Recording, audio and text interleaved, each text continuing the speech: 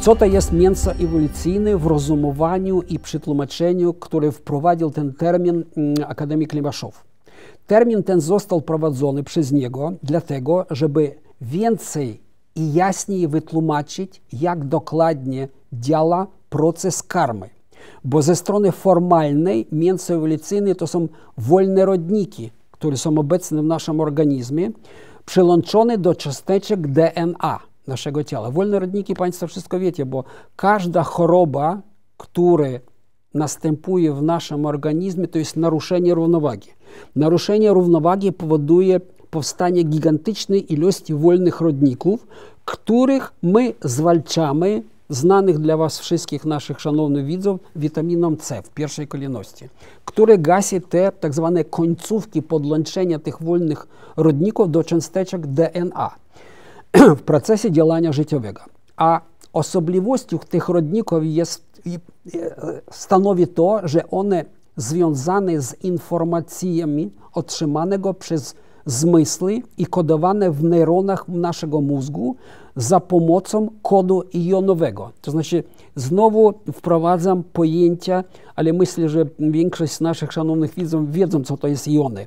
To znaczy, to jest odarte od elektronów atomy, pierwiastki, z którym składa się każde ciało materialne w naszej przestrzeni.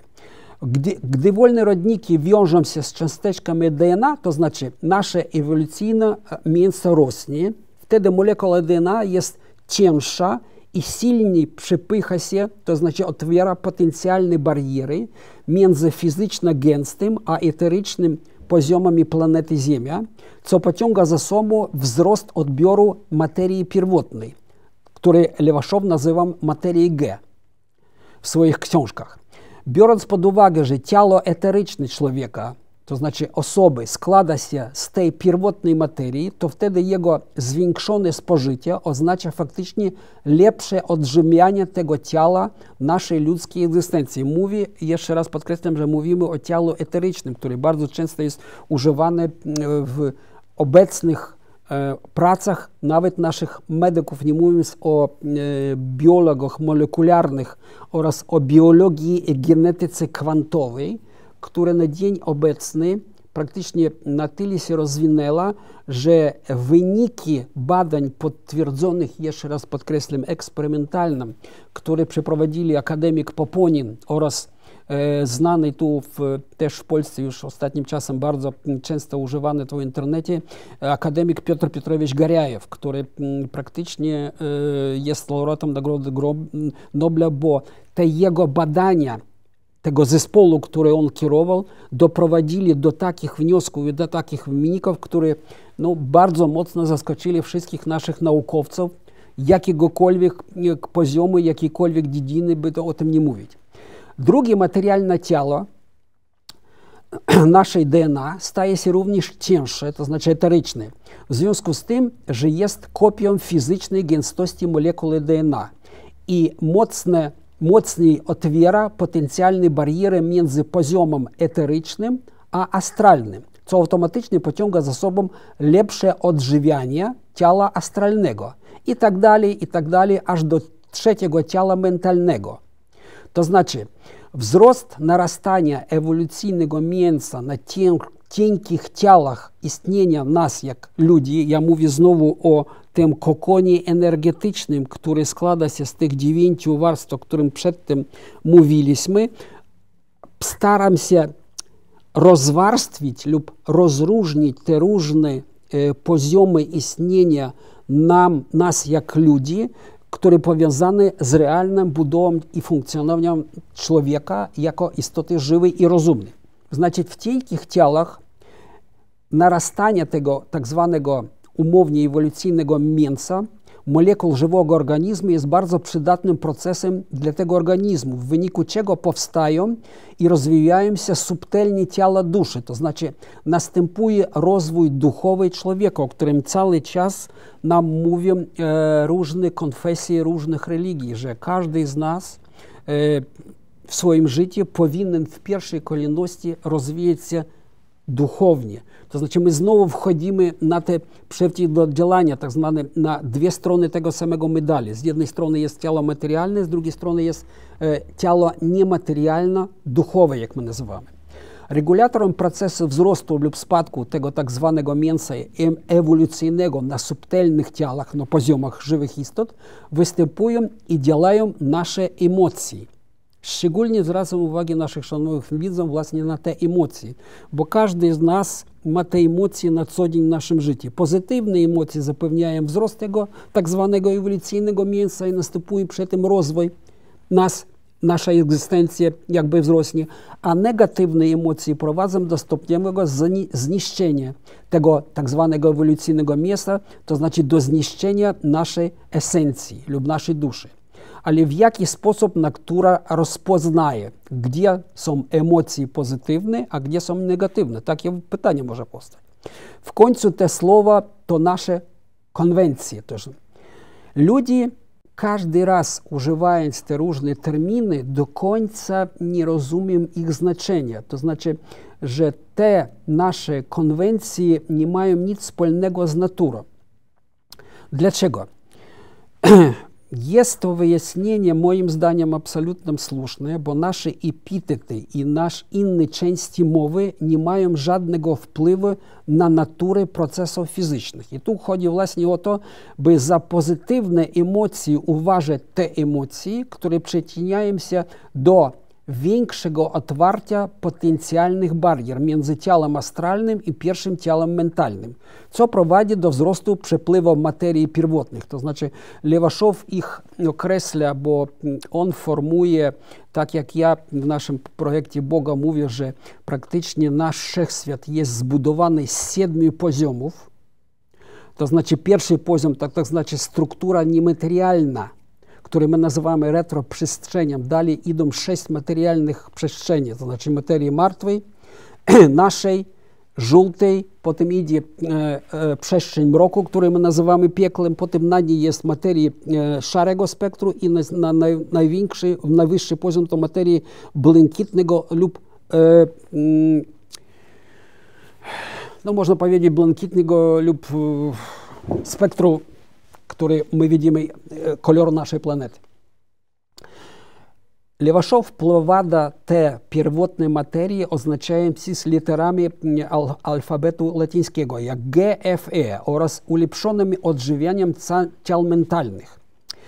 Negatywne emocje nazywamy takie emocje, które prowadzą do zamknięcia lub zmniejszenia stopnia otwarcia tych potencjalnych barier. Znowu mówimy o potencjalnych barierach, E, dlaczego? Bo faktycznie stan naszego organizmu według starożytnej medycyny chińskiej zależy od równowagi energetycznej naszego organizmu. To znaczy, e, każdy z nas, na pewno naszych szanownych widzów też e, odczuwając jakieś dolegliwości w swoim organizmie, idąc do lekarza pierwszego kontaktu, otrzymując kierowanie do jakiegoś specjalisty, próbuje z jego pomocą ustalić, co państwu dolega, co szwankuje w naszym organizmie i co powoduje e, powstanie jakiejś dolegliwości czy choroby. No, lekarze zaczynają gadać, ale kiedy to nie pomaga, to znaczy każdy e, z naszych szanownych widzów ma możliwość zwrócić się do takiego specjalisty e, starożytnej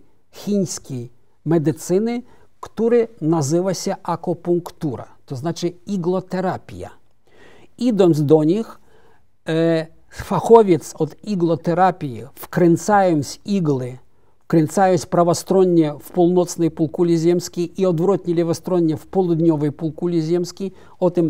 będziemy rozmawiać, on stara się odblokować energetyczne kanały, przepływu energii w całym naszym organizmie, żeby osiągnąć stan równowagi energetycznej. Stan równowagi energetycznej bardzo ciężko osiągnąć, bo praktycznie każdy z naszych mm, e, e, fachowców od akupunktury, on e, robi to wszystko i prowadzi na zasadach tak zwanego czuja. To znaczy, że faktycznie on nie widzi wpływu ustawienie odpowiednich igł na meridianach energetycznych naszego ciała człowieka, a my mamy te meridiany energetyczne, które bardzo precyzyjnie są opisane właśnie w medycynie chińskiej, współczesnej też, dlatego Chińczycy tak są popularni w naszym obecnym cywilizacji zachodniego świata. Dlatego, żeby zobaczyć, czy prawidłowo ten naturalny terapeuta, medycyna naturalna, ja mam na uwadze, tylko nazywam naturalny terapeuta, prawidłowo oddziałuje na nasz organizm, stawiając igły w te lub inne punkty meridianu różnych naszych narządów, ale on tego nie widzi. Dlatego mm, przeprowadzone były konkretne badania eksperymentalne, jak mogę to po powiedzieć, które mm, były przeprowadzone przy mojej obecności. Mówię to o badaniach, opierają się na urządzeniach medycznych, znowu w Federacji Rosyjskiej i moim zdaniem to jest wyprzedzenie poziomu medycyny światowej minimum na 25 lat do przodu. Te urządzenia praktycznie wynalazł jako wybitny wynalazca, ale jest wybitny lekarz, profesor Jurij Stanisławowicz But, miasto Omsk, to znaczy jeden z trzech miast słynnego trójkąta intelektualnego. Te urządzenia on nazwał systemem IMAGO. Po polsku to jest, brzmi jak skrót IWAGO, który jest bardzo często na różnych gabinetach wywieszany, tego do końca znowu jak z terminem karmy, ludzie nie wiedzą, jak to odszyfrować. Iwago po polsku lub imago po rosyjsku oznacza indywidualny, wielofunkcyjny analiz z graficznym odzwierciedleniem. Dlatego jest skrót, żeby tak długo nie mówić, tak jak ja tylko powiedziałem. To pozwala zobaczyć na urządzeniach e, profesora Buta, które nazywa się urządzenie Griff Atom, na zasadach zrównoważenia energetycznej struktury człowieka. To znaczy, on e, wykorzystując zwykłe elektrody, ale z niezwykłego materiału, bo to jest specjalna medyczna stal lub raczej e, specjalnego stopy tytanu, które my swoje dłonie na jedne elektrody ustawiamy, stopy nóg na drugi, a na głowie mamy taki obręcz, który rejestruje wszystkie nasze biorytmy mózgu i na urządzeniach, które przeprowadzają tak zwane przebicia kanałów energetycznych po 32 niezależnych kanałach. To znaczy, tak samo jak my, znowu skojarzenie, analogia. Praca naszego organizmu opiera się na dyskretnym impulsie działania, który określa się częstotliwością, tak jak przedtem Państwu naszym szanownym przedstawiałem, zwykłym wzorem to znaczy częstotliwość dorówna się 0,02 tysięcznych podzielone na 32. 32 kadra na sekundę odbieramy jak stały obraz. 32 zęby mamy w buzi, to jest nieprzypadkowa liczba. Właśnie dlatego z 32 niezależnych punktów widzenia sprawdzamy działanie naszego organizmu na podstawie odczytywania mini impulsów prądowych i napięcia od skóry naszych dłoni, stóp i rejestruje jednocześnie wszystkie biorytmy mózgu i próbujemy tymi urządzeniami, bo to nazywa się terapia, która powiązana z równowagą, związana z przepływami w naszym organizmie najważniejszym płynem dla nas ludzi, powiązane z wodą jasne, bo mamy na podstawie trzy rodzaje płynów w naszym organizmie. Z jednej strony to jest krew, ale ona ma różne znaczenie, jak biało, tak i czerwona, oraz limfa.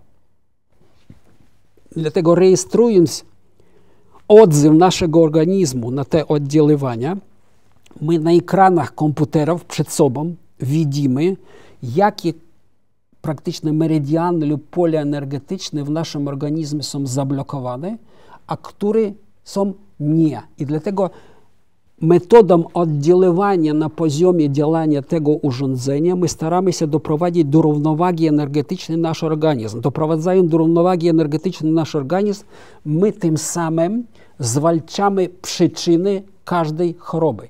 To są urządzenia profilaktyczne, nie lecznicze. Jeszcze raz podkreślam, profilaktycznie. Profilaktycznie my możemy tymi urządzeniami określić zawcześnie, nawet za rok do przodu, o powstania odpowiednich skutków, które nasi potem lekarze stwierdzają, że to jest, powoduje powstanie jakiejś choroby, tylko przyczyny tej, tej choroby oni nie wiedzą i zaczyna się znowu tak zwane gadania na fusach. Ale to mniejsze z tym, troszeczkę się odszedłem od e, przedstawienia naszym szanownych widzom e, dalszego treści tego. Negatywne emocje, to co powiedziałem, zamknięcie tych odpowiednich potencjalnych barier, czego konsekwencją jest zmniejszanie odżywiania się ciel, ciał mentalnych, ich blokowania i stopniowa degradacja. To znaczy my zaczynamy przy następowaniu stopniowej degradacji po cichutku przekraczać tę barierę, która nazywa się onkogeneza. To znaczy swoimi negatywnymi emocjami, ja chcę powiedzieć tym samym, możemy doprowadzić do tego, że w naszych ciałach fizycznych zaczynają się procesy, procesy pierwotne, struktury powiązane z onkochorobami. To jest prawdziwa różnica między pozytywnymi i negatywnymi emocjami. To, to chcę szczególnie Państwa zwrócić na to uwagę. Wszystko to działa w następujący sposób. Przed zrobieniem czegokolwiek człowiek wykorzystujący odpowiednie emocje koniecznie dostrzega i dostraja się do nadchodzącej akcji lub działania. Na przykład przed tym jakaś kogoś pogłaskać po głowie na przykład swego dziecka. Każdy rodzic jest pełen miłości i czułości, ale tej naturalnej miłości, tej naturalnej czułości nie e, no nie będę mówić, ale Państwo wszystko wiecie. Przede wszystkim jak odgadnić, odganić od siebie na przykład szczekającego bez, bezdomnego psa kijów, każda osoba jest nastawiona na nadchodzące działania zupełnie inne emocje, to znaczy z emocjami negatywnymi. To konkretne przykłady. Dlatego każda z naszych emocji z pewnością ma konsekwencje w tym narastającym procesie fizycznym w naszym organizmie praktycznie. Dla wyjaśnienia najbardziej odpowiednim jest właśnie termin karma, do którego wszystkie jest, jesteśmy przyzwyczajeni. Ponadto, w zależności od rodzaju nadchodzącej akcji, te lub inne emocje otwierają lub zamykają potencjalne bariery między trzecim materialnym, to znaczy tak zwanym astralnym, i czwartym materialnym, pierwszym mentalnym, ciałami organizmu ludzkiego, to znaczy każdego z nas. I przy tym następuje proces zwiększenia lub zmniejszenia tego umownego, tak zwanego używanego przez akademika Legowszowa ewolucyjnego mięsa na cienkich ciałach człowieka. Co więcej, jak wynika z tego wyjaśnienia, proces ten przebiega w sposób ciągły w tempie każdego działania, które człowiek popełnia lub robi sam. Właśnie to jest naturalny fizyczny proces karmy, występujący bez przerwy w każdym żywym organizmie, niezależnie od naszych pragnień i niechęci. Jeszcze raz dlatego naszym szanownym widzom wyjaśniam to, bo to jest bardzo ważne. Dlatego z emocjami ogólnie musimy być bardzo ostrożni. Jeśli pozwolimy sobie zanurzyć się w negatywnych emocjach we wszystkich kierunkach, przez to nie tylko bardzo szybko niszczymy nasze tak zwane ewolucyjne mięso, znowu w cudzysłowie, ale także jeszcze otwieramy swoją naturalną ochronę, tak zwane psi centry energetyczne od wewnątrz. Tym samym następuje tak zwane przebicie naszego kokonu energetycznego, a to przebicie ta dziurka do dotarcia do nas nie tylko różnego rodzaju patogenów, pasożytów, mikrobów i bakterii, które powodują to tym powstaniem choroby. Dlatego to jest bardzo ważne dla zrozumienia. A tym natychmiast starają się korzystać tak zwane astralne pasożyty, które zaczynają aktywnie absorbować, to znaczy pochłaniać tą materię pierwotną, z której składają się te nasze cienkie ciała. Pasożyty astralne znajdują naszą istotę lub egzystencję, a tym samym nas z wami, szanowni nasze widzowie i słuchacze, i to natychmiast pociąga za sobą pojawienie się chorób, naszych narządów, które zostały obgryzione przez tych pasożytów. Znowu uwa, używam terminu obrazowego, obgryziony. i bardzo, bardzo trudno wtedy leczyć takie powstające choroby.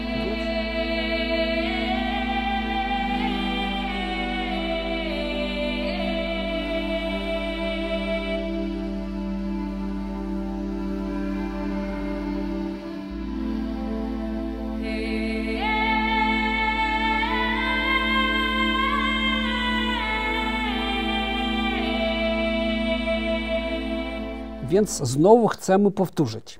Bądźcie bardzo ostrożni ze swoimi emocjami, jak pozytywnymi, tak i negatywnymi. Unikajcie sytuacji, w których emocje blokują wasz umysł, to znaczy rozum, i kieruje się oraz prowadzi waszym zachowaniem. Jest to bardzo niebezpieczne, wręcz śmiertelnie niebezpieczne. W żadnym przypadku nie, nie zastosowanie się do zaleceń e, słynnej uzdrowicielki, które my nazywamy Louise Hay i innych ezoterycznych oszustów, które radzą nam uwolnić, wypuścić pary, zajmują się biciem poduszek i innymi podobnymi sposobami, jakoby, żeby mm, z siebie wyrzucić te negatywne emocje, ten e, negatywny energetyczny potencjał, który narastają w naszym ciele podczas e, powstania tych negatywnych emocji. Bo w ten sposób e, zaproszycie tylko siebie pasożytami astralnymi, a te chętne będą e, skracać wasze życie do minimum. Jak oddziałuje karma na was, na mnie? Proces karmy odbywa się w ciele każdego z nas w sposób ciągły, jak proces oddychania lub trawienia. Dlatego też wpływ oddziaływania procesu karmy na nas dzieje się cały czas. Do jakichże skutków może doprowadzić nas proces tak zwanej odpłaty za wszystkie nasze czyny, słowa i myśli. Prawidłowe i dobrze uczynki całkiem naturalnie prowadzą do wzrostu tak zwanego naszego ewolucyjnego mięsa, jak to określa znowu umowny termin, jeszcze raz podkreślam, akademik Ległaszow, i odpowiednie do rozwoju duchowego, to znaczy do wzrostu subtelnych, cienkich ciał duszy. Jednakże, jak podkreśla ten sam Lewaszow, prędkość tego naszego wzrostu duchowego może być bardzo różna. Kiedy człowiek czyni dobro tylko dla siebie i członków swojej rodziny, to to niewiele się różni się od życia pod kontrolą bezwarunkowych instynktów, to znaczy życia rozumnego zwierzęcia. Dlatego jeszcze raz podkreślę. I przy takiej aktywności prędkość duchowego wzrostu będzie minimalna. Zwracam na to szczególną uwagę. Właśnie jeszcze raz powtarzam się. Tylko dla siebie i dla swojej najbliższych członków swojej najbliższej rodziny. W celu zwiększenia prędkości wzrostu duchowego człowiek musi skierować swoje dobre uczynki na zewnątrz. Do tego nie liczy się nie liczyć na jakiekolwiek nagrody za te dobre uczynki, które my robimy i e, nie oczekiwać na wdzięczność, ale świadomie na e, faktycznie polecenie i na rozwój swojej duszy, jeśli ona oczywiście dojrzała do takich nakazów i obowiązków. Znowu jeszcze raz podkreślam, że nasz duchowy rozwój, który mm, w naszych czasach, to znaczy w moich czasach, kiedy ja uczyłem się i studiowałem w Związku Radzieckim, było absolutnie e, odwrócone wszystko z nóg na głowę postawione. To znaczy w pierwszej kolejności było takie pojęcie i podejście, że wszystko jest materialne, a co jest duchowe, jest ideologią e, tak zwanego zagniewającego Zachodu, jak to u nas nazywaliście, to jest absolutna nieprawdą i jeszcze raz podkreślam i chcę powiedzieć, to jest postawieniem całego pojęcia z nóg na głowie. W takim przypadku możemy mówić o tak zwanej świadomej ewolucji, kiedy prędkość rozwoju ewolucyjnego, to znaczy wzrostu duchowego każdego człowieka, można zwiększyć wielokrotnie, oddziaływując, jeszcze raz powtarzam, na zewnątrz, nie tylko oddziałając na korzyść siebie i swojej najbliższej rodziny. Pozwoli to szybciej zbudować wszystkie ziemskie ciała egzystencji i ukończyć planetarny etap swojego rozwoju jako ludzkości. Osoba, człowiek zyskuje możliwość mocą swoich myśli wpływać lub oddziaływać na materię i procesy ziemskie, przechodzi do kosmicznego etapu rozwoju i na Ziemi więcej już nie będzie wcielony. To znaczy, to jest jakby brzmienie z rodzaju science fiction, które my często używamy, a szczególnie w ostatnich czasach bardzo dużo filmów na ten temat powstały, ale chcę powiedzieć, że w każdym takim opisie naszych pisarzy w science fiction, fantastów, jeszcze raz przypominam i zwracam się bo do słynnego i moim zdaniem najważniejszego pisarza w tej dziedzinie, to znaczy do Stanisława Lema.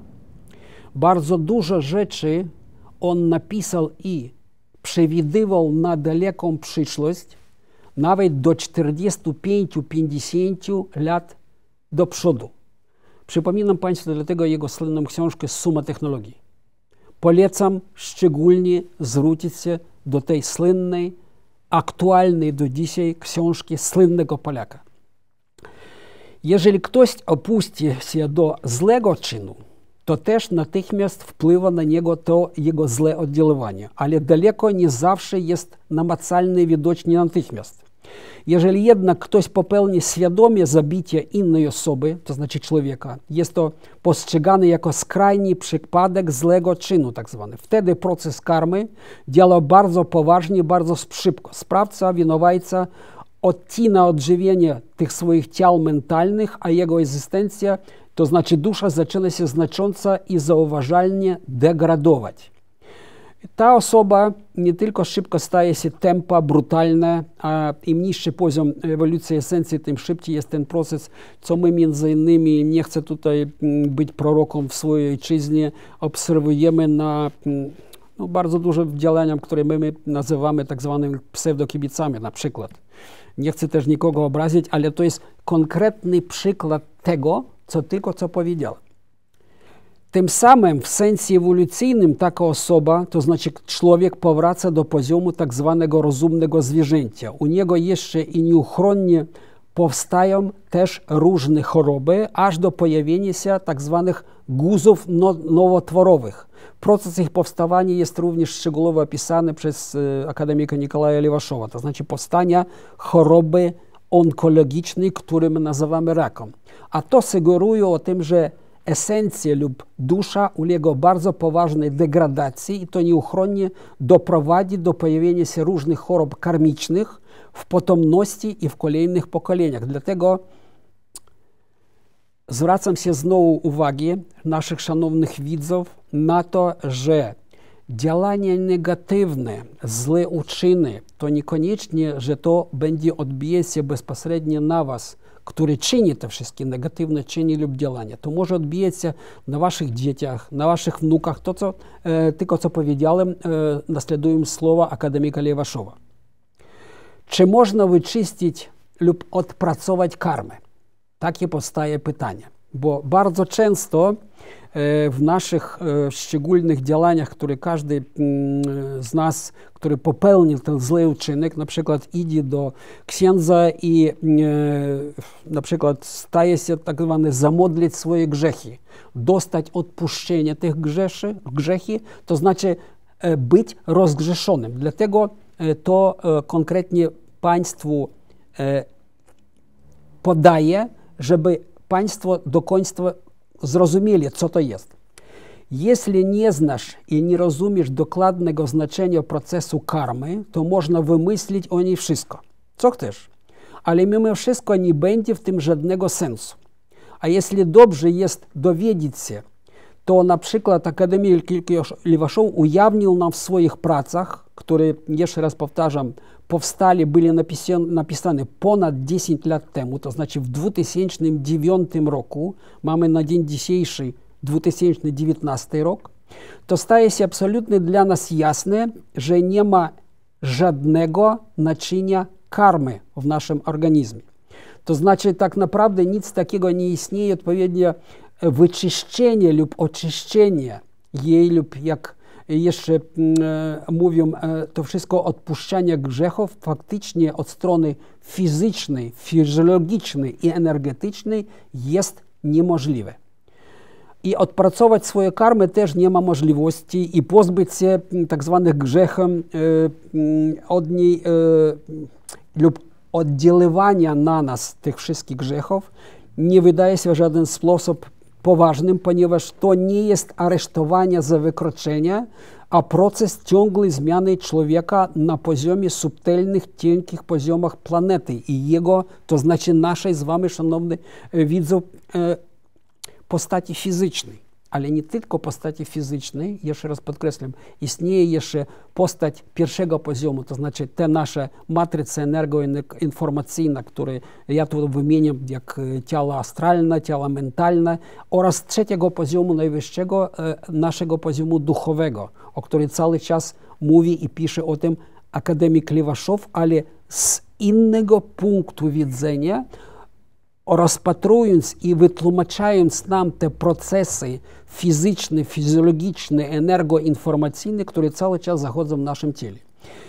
I ten proces przebiega automatycznie, jak proces oddychania i nie jest podporządkowany i nie przestrzega umysłowym wysiłkom osoby, to znaczy nasz człowiek na naszym początkowym poziomie rozwoju. Dlaczego o tym znowu mówię?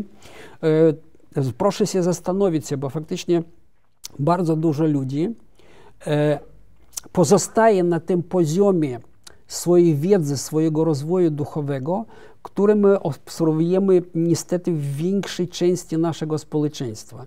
Dlatego uczulam wszystkich i namawiam nie przestawać w tej swojej poszukiwaniu wiedzy, w nabyciu dodatkowej nowej wiedzy, w swoim rozwoju, nie tylko materialnym, ale duchownym cały czas rozwijać się, bo to praktycznie powoduje przedłużenie naszego życia i powiększenie jakości naszego życia. Proszę osądzić o tym wszystkim samym dla siebie. Jeżeli na przykład straciliście na wadze w wyniku choroby, wtedy możecie albo chudnąć dalej, jeżeli nie wyzdrowiecie, albo zaczną się poprawiać, jeśli choroba zacznie, zostanie pokonana. Ale oczyścić się, ale nie od, albo odpracować lub pozbyć się swojej straty na wadze nie będzie już mogli. I pozostanie dla Was na przykład jedno tylko wyjście, żeby wyżyć, pokonać choroby i przybrać na wadze, to znaczy zacząć odzyskiwać zdrowie. Szczególnie ten wypowiedź poświęcam tak zwanym anorektykom i anorektyczkom, bo praktycznie wszystkie te myśli, które doprowadzają do zniszczenia ciała fizycznego, pochodzą z naszej głowy. Bardzo często to wszystko w ostatnich czasach teraz nagłaśniane, szczególnie w telewizji, pokazywane filmom. Dlatego to jest pokazane, żeby pozbyć się tej choroby i odzyskać zdrowie, trzeba mieć pozytywne nastawienie samych do siebie. To samo dotyczy procesu karmy. Jeśli już popełniliście niestosowny czyn, to strata na wadze nastąpiła, strata na wadze w cudzysłowie, w tym samym czasie, to znaczy zmniejszenie tak zwanego tego mięsa, o którym mówiłem, ewolucyjnego, kiedy popełniliście wy ten negatywny czyn i anulować tego nie możecie już nigdy w żaden sposób, bo wasze tak zwane ewolucyjne mięso już trochę rozcieńczyło się, do pewnej wartości. Jeśli teraz zdacie z tego sobie sprawę, zrobiliście coś nie to, coś złego, to wam nie ma sensu oczyszczać się, odpokutywać i odpracowywać, bo to nie da żadnego efektu, a ewolucyjne mięso z tego nie odrośnie. A odwrotnie, narośnięcie lub odrosnąć ewolucyjnego mięsa jest możliwe tylko poprzez dobre uczynki, zapewniając odpowiednie i potrzebne procesy przepływu w organizmie, które i będą doprowadzać do narastania tego tak zwanego ewolucyjnego mięsa i żadne sztuczki tutaj nie pomogą. Jeszcze raz tutaj muszę się całkowicie zgodzić z mm, tą tezą, której e, w swoich książkach e, mówi akademik Lewaszow, bo to mm, jest logiczne, wytłumaczalne, zrozumiane z punktu widzenia każdego człowieka na naszej ziemi, a szczególnie u nas w Polsce, bo tutaj obserwuję bardzo dużo ludzi z otwartymi umysłami, światłych głów, które chętnie chcą zapoznawać się z tą nową wiedzą i nabywać inne eksperymentalne, potwierdzone skutki powstania i rozwoju tej wiedzy. Innymi słowy, niestosowne działania już nie można odmodlić. I darowizny na kościół nie przyniosą nic dobrego dla was, to znaczy żadnej korzyści, chyba że korzyści dostanie sam kościół.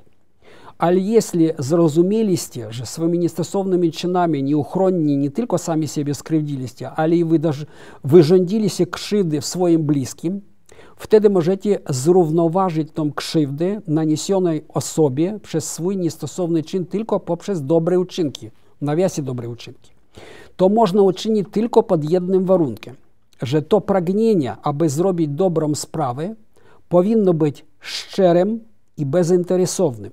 A jeżeli ilość i jakość tych dobrych uczynków będzie wzrastająca, to po pewnym czasie powrócicie do tego poziomu swego rozwoju ewolucyjnego, który mieliście przed popełnieniem niestosownego czynu. Karmę jest pojęciem na ogół absurdalnym. W taki sam sposób jak oczyszczanie naczynia karmy lub odmodlić się od karmy, bo to są wymysł nieuczciwych autorów, różne tam Bardo, Hej, Megry, Swiastania, Walcz, Lazarewicz i inni tak zwanych ekspertów od karmy, o których wiele wciąż jeszcze żywi się w tej dziedzinie z naszej niewiedzy i na tej naszej niewiedzy zarabiają pieniądze. Jeszcze raz podkreślam, nie pomagając ludziom, którzy przychodzą do takich uzdrowicieli, ich oczyszczaczy karmy, płacąc za to dostatecznie duże pieniądze, moim zdaniem. Ci ludzie bez odrobiny sumienia piszą różne głupie rzeczy, sprawiają, abyśmy w nie uwierzyli, a nawet zapłacili za to pieniądze. Z całą pewnością ich drobne oszustwa zdecydowanie świadczą o tym, że o karmie ci niedouczeni i niedoszli autorzy w ogóle nie mają żadnego pojęcia, ponieważ bez strachu popełniają takie działania, które po prostu pociągają za sobą negatywną karmę dla nich samych. To znaczy, te wszystkie uzdrowicieli lub e, wykształceni Hindusi, które ja tylko co mówiłem Państwu, e, których bardzo dużo guru to się pojawiło w naszych czasach, ale właśnie zaczynają ale i trzykropek. Ale w większości, to znaczy w 99 i 99 setnych procenta to są zwykle oszuści, bo prawdziwych uzdrowicieli poznaje się tylko wyłącznie po ich czynam. Oni niosą dobro absolutnie bezinteresownie, naprawdę,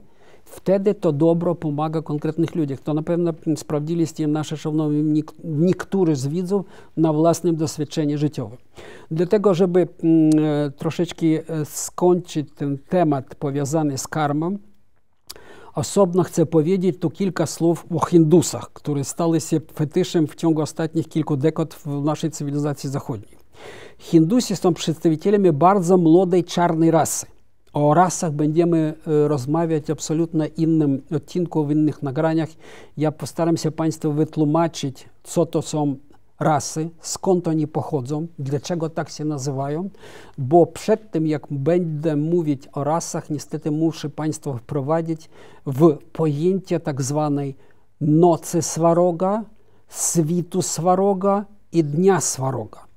Swarok to jest, jak piszą nasze encyklopedie, to znaczy encyklopedie w języku polskim, to jest starożytny, słowiański, przedchrześcijański Bóg lub jakieś bóstwo. bóstwo, które się pokłaniali nieochrzczeni barbarzyńcy. To jest znowu, chcę powiedzieć, no niestety, trzecim rodzajem trzecim rodzaju prawdy. Dlatego chcę Państwu przedstawić konkrety, które pochodzą naprawdę z wiedzy powiązanym ze starożytnymi pismami, które uchowali się do naszych czasów, bo nazywają się nie bardzo prosto Wedy dużo jest Wedów, które obecnie są dostępne w internecie i książki drukują, które są praktycznie sfalszowane informacje. Te prawdziwe Wedy niestety uchowali się tylko w dwóch miejscach na naszej planecie Ziemi, o którym przedtem mówiłem. Nie chcę się powtarzać, możecie Państwo odnieść się do jednych z odcinków. I te prawdziwe Wedy zaczynają się pojawiać się tylko teraz. To znaczy, jeszcze raz podkreślam, my podczas epoki, która minęła, to znaczy epoki ryb, która trwała 2160 lat, znajdowaliśmy cały czas w okresie tak zwanej Nocy Swaroga. Tylko od 2006 roku zaczął Świt Swaroga, który po cichutko, według różnych przewidywań, przewidywań tak zwanych światłych hierarchów lub światłych umysłów, proroków czy kogo innego, po innemu można to nazwać, będzie następować na naszej planecie Ziemi, bo pierwszy taki tak zwany promieni tego lub zwiastuny raczej, e, każdy z nas dokładnie pamięta. Tylko bardzo dużo jest znowu niezrozumienia i nieprawidłowego wytłumaczenia tego terminu. To znaczy, praktycznie od 2012 roku nastąpiła zauważalna zmiana, którą my teraz obserwujemy w rozwoju nie tylko naszej planety Ziemi, bo zmienia się nie tylko klimat. Następuje kardynalne zmiany wszędzie, w każdym społeczeństwie, w każdym narodzie. Dlaczego pojawiają się takie ruchy, które my nazywamy ruchami populistycznymi? Bo tak samo jak w tak zwanym okresie przejściowym, to tak zwana piana cały czas spływa do góry. To znaczy te wszystkie negatywne, złe uczynki, czy ludzie, którzy reprezentują te wszystkie rzeczy, wmawiają nam, to znaczy społeczeństwu obywatelskiemu, jak nazywam się w Polsce, a faktycznie opowiadają nam, przepraszam, o gruszkach na wierzbie, też nie, nie chcę się tu nikogo obrazić i wmieszać się do polityki, prosto mówię, że to jest naturalny proces zmiany, następowania innej epoki. Z epoki ryb weszliśmy w epoki, dlatego ona nazywa się epoką wodnika. Dlatego, żeby nie zabierać za dużo czasu, bo chcemy jeszcze z Mariuszem coś Państwu powiedzieć w innym temacie, chciałem na tym skończyć, bo epoka wodnika bezpośrednio jest powiązana z najważniejszym płynem na naszej planecie Ziemi i w naszych ciałach, z wodą. Dlatego na dzień dzisiejszy chciałem podziękować, a do karmy my jeszcze wrócimy w następnych odcinkach. Dziękuję bardzo. Dziękujemy serdecznie, dziękujemy Państwu. Do widzenia.